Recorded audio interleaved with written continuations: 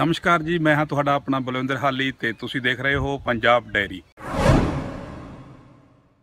ਸ਼੍ਰੋਮਣੀ ਅਕਾਲੀ ਦਲ ਤੇ ਭਾਜਪਾ ਦੀ ਸਰਕਾਰ ਸਮੇਂ ਉਦੋਂ ਦੇ ਵਿੱਤ ਮੰਤਰੀ ਮਨਪ੍ਰੀਤ ਸਿੰਘ ਬਾਦਲ ਨੇ ਕਿਰਸ ਕਰਦਿਆਂ ਆਪਣੇ ਦਫ਼ਤਰ 'ਚ ਚਾਹ ਘੱਟ ਪਿਲਾਉਣ ਦਾ ਨਿਰਣਾ ਲਿਆ ਸੀ, ਤਾਂ ਜੋ ਸਰਕਾਰੀ ਖਜ਼ਾਨੇ ਦਾ ਬੋਝ ਘਟਾਇਆ ਜਾ ਸਕੇ।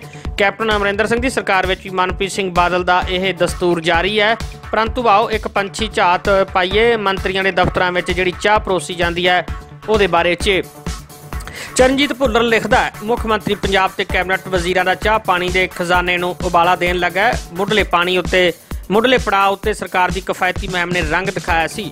ਹੁਣ ਪ੍ਰਾਹੁਣਾਚਾਰੀ ਦੀ ਟਹਿਲ ਸੇਵਾ ਲਈ ਹੱਥ ਖੋਲਣ ਲੱਗਾ ਹੈ। ਕੈਪਟਨ ਸਰਕਾਰ ਦੇ ਪਹਿਲੇ ਵਰੇ ਦੌਰਾਨ ਮੁੱਖ ਮੰਤਰੀ ਤੇ ਵਜ਼ੀਰਾਂ ਦੇ ਚਾਹ ਪਾਣੀ ਸਰਕਾਰੀ ਖਜ਼ਾਨੇ ਨੂੰ ਕਰੀਬ 28 ਲੱਖ ਰੁਪਏ ਚ ਪਿਆ ਭਾਵੇਂ ਰਾਸ਼ੀ ਵੱਡੀ ਨਹੀਂ, ਪਰ ਜਦੋਂ ਖਜ਼ਾਨਾ ਸੰਕਟ 'ਚ ਹੋਵੇ ਤਾਂ ਪਾਈ ਪਾਈ ਦਾ ਸਹਾਰਾ ਬਣਦਾ ਹੈ। ਕੈਪਟਨ ਸਰਕਾਰ ਦੇ ਪ੍ਰਾਹੁਣੇ ਕਰੀਬ 5.34 ਲੱਖ ਰੁਪਏ ਦਾ ਤਾਂ ਪਾਣੀ ਹੀ ਪੀ ਗਏ ਦੂਸਰੀ ਤਰਫ ਚਾਰੇ ਪਾਸੇ ਸਰਕਾਰ ਖਰਚੇ ਕੱਟ ਲਾ ਰਹੀ ਹੈ। ਪੰਜਾਬ ਦੇ ਹਰ ਕੋਨੇ 'ਚੋਂ ਨਾਰੇ ਵੱਜ ਰਹੇ ਨੇ। ਪ੍ਰਾਹੁਣਾਚਾਰੀ ਮਹਿਕਮੇ ਤੋਂ ਮਿਲੇ ਆਰਟੀਏ ਦੇ ਵੇਰਵੇ ਦੱਸਦੇ ਆ। ਮੁੱਖ ਮੰਤਰੀ ਪੰਜਾਬ ਦੀ ਰਿਹਾਇਸ਼ ਤੇ ਰੋਜ਼ਾਨਾ ਹੋਣ ਵਾਲੀਆਂ ਮੀਟਿੰਗਾਂ 'ਚ ਚਾਹ ਪਾਣੀ ਤੇ ਕਰੀਬ 1 ਵਰੇ ਦੌਰਾਨ 12.33 ਲੱਖ ਰੁਪਏ ਦਾ ਖਰਚਾ ਆਇਆ ਮੁੱਖ ਮੰਤਰੀ ਪੰਜਾਬ ਵੱਲੋਂ ਦਫ਼ਤਰ ਦੀ ਥਾਂ ਤੇ ਰਿਹਾਇਸ਼ ਤੇ ਮੀਟਿੰਗਾਂ ਜ਼ਿਆਦਾ ਕੀਤੀਆਂ ਜਾਂਦੀਆਂ। 6 ਵਜ਼ੀਰਾਂ ਦਾ ਚਾਹ ਪਾਣੀ ਦਾ ਖਰਚਾ ਵੱਖਰਾ ਹੈ ਔਰ 11.65 ਲੱਖ ਰੁਪਏ ਖਰਚਾ ਰਿਹਾ ਜੋ ਕਰੀਬ 1 ਵਰੇ ਦਾ ਹੈ। ਔਰ ਵਜ਼ੀਰਾਂ ਨੇ ਮੁੱਢਲੇ ਮਹੀਨਿਆਂ ਦੌਰਾਨ ਤਾਂ ਚਾਹ ਪਾਣੀ ਉੱਤੇ ਖਰਚੇ 'ਚ ਸੰਜਮ ਵਰਤੀ। ਮਗਰੋਂ ਥੋੜਾ ਹੱਥ ਖੋਲ ਲਿਆ।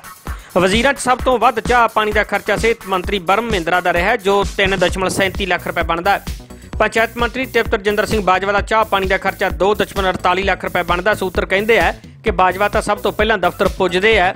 ਜੰਗਲਾਤ ਮੰਤਰੀ ਸਾਧੂ ਸਿੰਘ ਧਰਮਸੋਤ ਵੀ ਮਹਿਮਾਨਾਂ ਦੇ ਚਾਹ ਪਾਣੀ ਤੇ 2.12 ਲੱਖ ਰੁਪਏ ਖਰਚ ਕਰਦੇ ਨੇ ਜਦਕਿ ਵਜ਼ੀਰ ਅਰਨਾ ਚੌਧਰੀ ਦਾ ਖਰਚਾ 82780 ਰੁਪਏ ਆਇਆ ਹੈ।